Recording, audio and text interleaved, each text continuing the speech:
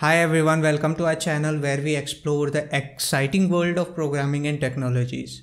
And in today's video, we are going to enhance our Django debugging skills by integrating the Django debug toolbar. Django debug toolbar is a must know for everyone who uses Django as it provides with lots of insight about Django application such as uh, performance, query optimization, uh, caching, etc. To kick off things, we are going to take a look at step-by-step -step process of how to install and integrate Django debug toolbar into Django. So let's go to the VS Code and uh, we are going to start by creating a new terminal and we'll create our environment. So pipenv shell, that is what I use now.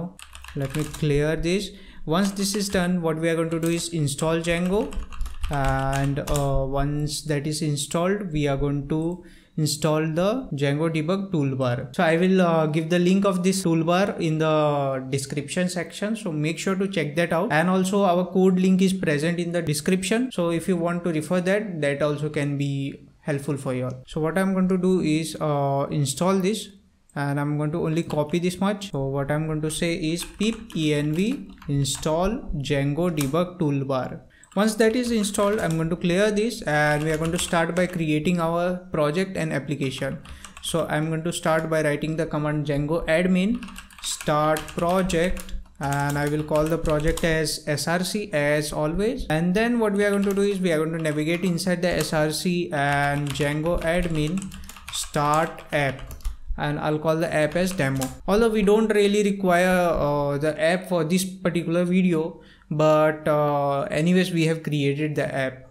Let me clear this minim sorry clear this and minimize it. We are going to go inside src again inside src and in settings.py first we'll install our app okay? So app name is uh, demo. So i'm going to use demo over here and that is done. Now these are the steps that we are going to use for configuring the django debug toolbar. So make sure to watch it carefully. Uh, first we have to install it inside the installed apps I know this sounds crazy, but install it inside the installed apps. And it is called as uh, debug toolbar. That is what we have to install inside this. And after that, we also have to configure one of the middleware. So I'm going to tell you which middleware to configure. So debug toolbar dot middleware dot uh, debug toolbar middleware this is the middleware that we have configured. So now that our middleware configuration is done what we have to do is we have to specify the internal ips for toolbar to be used.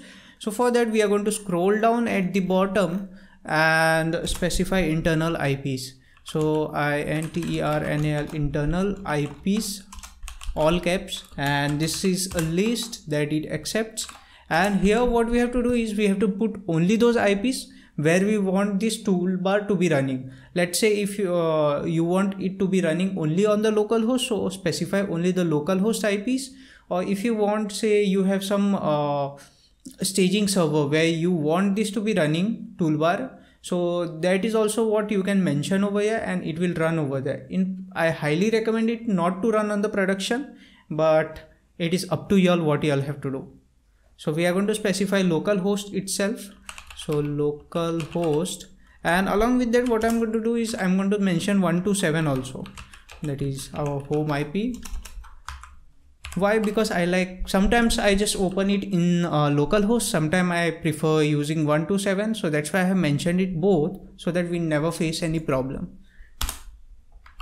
So these two things are done. Uh, now the only uh, last configuration remains is configuring it in the urls.py so we are going to go to urls.py and over here we have to do some imports. So first of all, along with the path, we are going to import the include and after that what we are going to do is we are going to actually uh, let me check what I have done. Yeah, so I'm also going to import the con uh, settings. So from uh, django.conf import settings so what I'll do is I'll only allow this toolbar to be uh, like used or URL to be used only when we uh, we have the debug equal to true in settings.py so that is what I'm going to check over here. So if setting it is settings actually. So settings dot uh, debug or it is caps.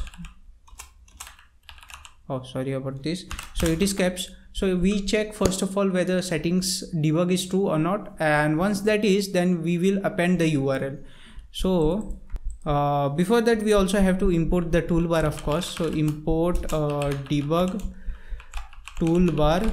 And over here we are going to do is url patterns plus equal to append the new one.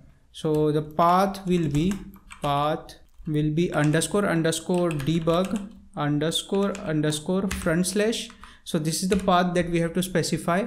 And it is already mentioned on the uh, tool uh, debug toolbars uh, official documentation. So y'all can check from there as well. Not an issue. And once we have this path we have to include toolbars url so i'm going to specify it over here. So debug toolbar dot urls and that's it. These are the only configuration that mm, those were required. So again if we revise this uh, we have installed our uh, package called as django debug toolbar. And then we went inside settings. We'll scroll to top. First of all in installed apps we have installed to uh, debug toolbar. Then we went to middleware and in middleware also we have specified this debug toolbar middleware dot debug toolbar middleware and then finally we come down and uh, internal IPs uh, what we have to specify. That means where to run this uh, that means which all site on which all sites this uh, toolbar should run. So that is mentioned over here localhost and 127 and then we went to urls.py and configured it to run only when settings.debug is true. So let's save this uh, we'll bring this up the terminal and we'll make migrations okay? Make migrations. Oh no migrations. So python manage.py migrate. I think migration might not be really required but still we did it anyways. And uh, we'll run the project now. So python manage.py run server. I'm going to go to this website and and once we visit as you can see on the left sorry on the right hand side we have all these things available. These are uh, this is what the django debug toolbar looks like and this is where we get all the information. So if uh, let's say if i click on settings over here it will open up another page and it will give me all the settings what are present what not are present.